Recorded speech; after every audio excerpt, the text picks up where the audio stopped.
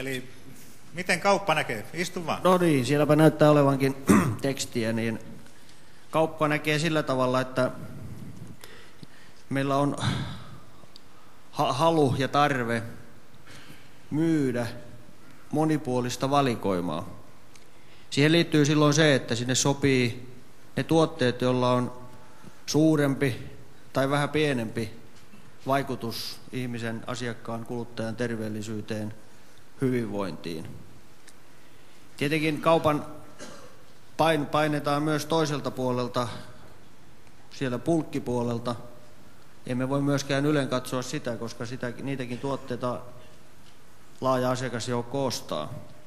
Kauppa palvelee parhaiten hyvällä valikoimalla ja kaupan tarve on silloin toteuttaa näitä sellaista liikepaikoista, että pystytään täyttämään nämä odotusarvot, joita tar- tarvitsee silloin erityyppiset asiakkaat. Markku Viljenius sanoi selkeästi tuossa esityksessään, että se kohtaaminen asiakkaan ja kaupan tavaravalikoimassa ei välttämättä tapahdu, koska te tarjoatte, mitä tarjoatte, kuluttajat eivät voi siitä päättää.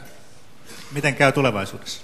No joka tapauksessa entistä tärkeämpi ja tärkeä tänä päivänä entistä tärkeämpi on koko ajan tunnistaa sen asiakkaan ja asiakaskunnan odotusarvo. 100 prosenttia siitä ei voi toteuttaa, täytyy tehdä valinnat.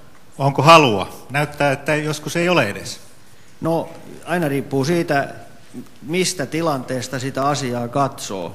Sen vaan sanon, että suuremmat myymälät kykenee toteuttamaan laajemman valikoiman ja palvelemaan näin ollen laajempaa asiakasjoukkoa. Mutta tämä ohjelma on tavallaan eurooppalainen sodajulistus. Meidän pitäisi menestyä myöskin eurooppalaisilla markkinoilla omille, omina tuotteiden, omien, omien tuotteiden avulla. Miten suomalainen kauppa voi hyödyntää tätä eurooppalaista menestystä, vai voiko se hyödyntää? Kyllä voi ensinnäkin hyödyntää sitä kautta, että tuossa Esko Aho totesi aika hyvin tämän lopun, eli riskinotto.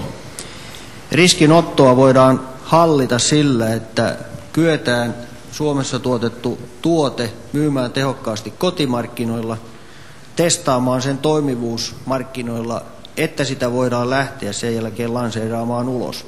Toinen tekijähän on se, että jos kauppa pääsee Itämeren alueella vahvempiin asemiin, on sillä luontaisemmat puitteet sitten myöskin ottaa näitä suomalaisen teollisuuden tuotteita siellä myyntiin. Mutta tietenkin voidaan kysyä, että missä tämä ohjelman pihvi on kaupan kannalta. Mitä te näette? Koska ohjelma on tosiaan, sitä on tehty ansiokkaasti ja siinä on monipuolista monipuolisia näkemyksiä. Mikä on teidän kannalta tässä ohjelmassa se keskeinen kysymys? Mihin te joudutte puuttumaan? Me joudumme puuttumaan siihen, että haasteellisempien tuotteiden toimitusketjuja kyetään hallitsemaan.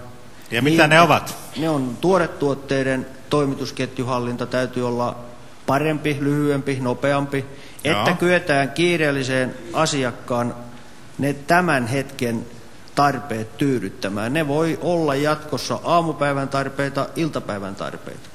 Ja Hyvä. siihen täytyy vastata tehokkaammin. Tarkoittaa sitä, että se toimitusketju täytyy tuottaa asiakkaalle kuitenkin sen tässä ja nyt tyydytyksen tarpeen, jopa pienen elämyksenkin, mitä hän hakee. Hyvä, kiitoksia.